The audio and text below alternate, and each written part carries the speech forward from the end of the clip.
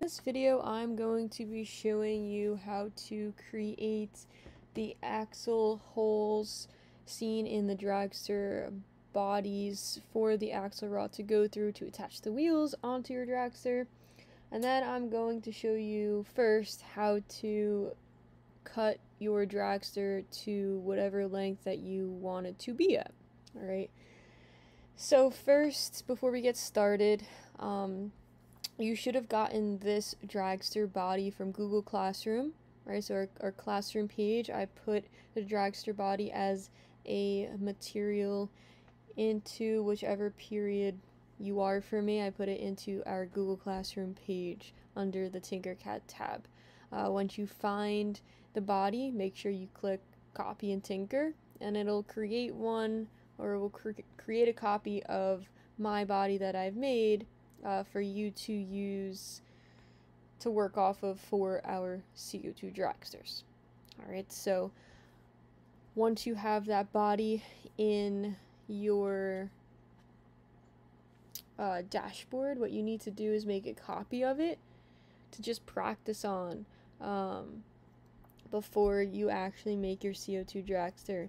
So it should say like copy of dragster body up here before you start working. That's very, very important. So please make sure that you have a duplicate of the dragster body before you start uh, working on this one. Alright, to make a duplicate, which I'll show you really quick, you're just going to click on the gear looking thing in the top right corner of whatever design you want to duplicate and there's a literal duplicate button right there. You click on it and it will make a new copy for you. So please make sure that you make a copy. Alright, so uh, yours will probably look like mine, right? Once you get into the file, which is okay, all you have to do is click on the home button on the left hand side of your screen and it'll turn like this so it's a little bit nicer to look at. Now, there are a few things I want to go over about this dragster body that I've made for you um, before we get started with cutting our dragster to length. The first thing is the CO2 cartridge spot, right? So like that metal container that I was telling you about. I made that for you right over here, right? So that is the yellow rectangular piece that you see here. Okay, so that is what the CO2 cartridge is. Okay, so that's where the spot is. So remember, we cannot cut into the CO2 cartridge spot, right? So that's why I had you put that on your brainstorming sketches. Because if we cut into this yellow spot right here, the car won't be able to move, right? There's one on every single uh, side of this car, or you could also see I have a little hole for the CO2 cartridge that you know, go in, right? If this was actually a CO2 car. Um, but there's one also on the bottom as well, which I'll show you how you could actually delete that one if you want to right now. So what I just did was I clicked that rectangular box on the bottom and just click backspace. Alright, so you could delete that one now, but I have one on either side depending on which side you're going to be doing your shaping for right? Or, or uh, you have the orbit rotated to. So for right now, just leave them there uh, before we group or later on because we're going to be grouping right now. So you'll see that it'll get glued to the side of your car, which that's okay. I'll show you how to get rid of it uh, before we start decorating our cars. Alright. Then this blue line, same thing. I'll show you how to get rid of that as well before we start decorating. Uh, but that is the line where your two holes for your wheel and axle are going to go on, which we're going to be placing today. Alright, so that is where the axles would go through. Alright, the holes are going to be placed on that blue line just so it's easier and just so we know the holes are placed in a straight line. Alright, so first things first. Alright, we want to cut our dragster to length because right now it's the full about 10 inches right that max length that you're able to have it. Now, you could leave it like this. I mean, I suggest you cut it just even slightly, right? Um, but it's up to you. The only thing is, I would say, is try to leave more than half of the block here. Uh, you don't want it to get too short, especially if you need room, you know, to shape your dragster vehicle to look how it does in your brainstorming sketch or your final sketch, I should say. So you want to make sure that you leave definitely more than a little more than half of this block so you can do your shaping. Okay, so no, don't cut it less than half. So with that being said, in order to cut this block, we need a hole, right? Because we need to cut through a solid material. So what you're going to do is up here, there's already a pre-made block for us. So we're going to take that. And it's already a hole, like I said, so that's great. Now what we're going to do is we're going to make this box long and wide. Alright, so I'm going to make mine about 65, doesn't matter um, how long you make yours. We could always adjust it later, right? But you also want to make it long, right? So it could get pushed through the car. Right? It can be as long as you want. Like I said, it's just going to cut through um, dead space. So I'm going to make it pretty long. Then we also want to make sure we adjust the height. Okay, so that's that top white box right here. So it goes through the whole car, right? Because now we could see, since I did all of that, that darker shaded part is what's getting cut off the car. So now, of course, we don't want to leave this over here, right? So I'm going to just scoot this over here. So now that means that that's how much of the length is going to get cut off of the car, and this red part is going to stay, right? So that looks like a pretty good length, right? But I'll just show you, let's just say, you know, you want more, right? Depending on how big you made your box.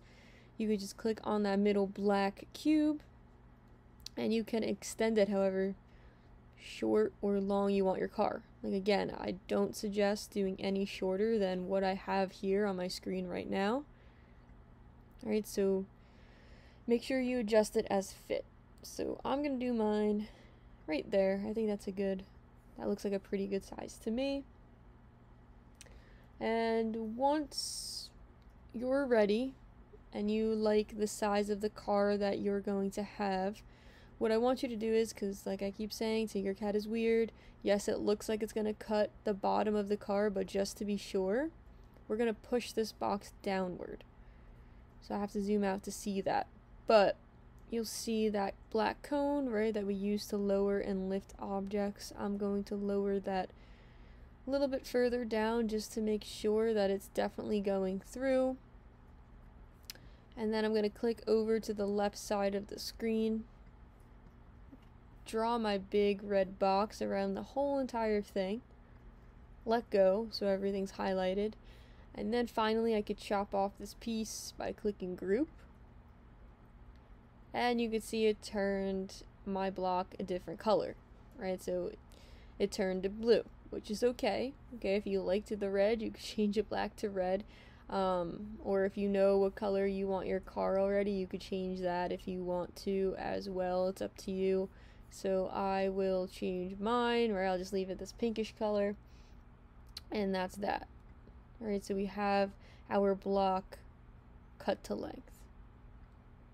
Now what we have to do is put in our holes, right, on that horizontal line that I have. Now it's not blue, um, but you can still see the line there for us to place the holes onto. Alright, so before we put our hole into the car, what we're going to do is we're going to put our work plane on the side of the car so it's easier to put our cylinder holes on the side of the car. Now, yes, of course, we could just rotate our cylinders, but just so we could skip that step, what we're going to do is click W on your keyboard, so the, the letter W, right? Move your mouse around like we've been doing with our custom wheels, and you're going to just click when it turns orange on the side of your car, and the plane will snap to the side. Then what I want you to do is grab a cylinder that's already pre-made a hole, right? It's just already done for us since we are making a hole and cutting through our our, uh, our cars. And you're going to drag it and place it anywhere right now. Alright. So now I'm going to turn this just so I could see, and you can as well. We're going to change the dimensions of the cylinder. Now before we change this, I just want to let you know it is going to get a little bit small. Alright, so to make this easier first, we're going to change the height, right? And you're going to just extend it as, as far as you can right now. Right, and then I'm going to click on this cone, and I'm going to push it through. Now we're going to change the dimensions. Right, and you'll see why we just did that in a second. Because watch how small it's going to get. We're going to change this from 20 by 20. So what I just did was click on the bottom white right corner. And we're going to click on the first 20 and change it to 3 by 3. And now it got significantly smaller. If we didn't extend this and push it through, um, it would have been hard to grab on an empty gray part to try and move this circle. So that's why we did this first. So now I can grab anywhere and just be able to move it.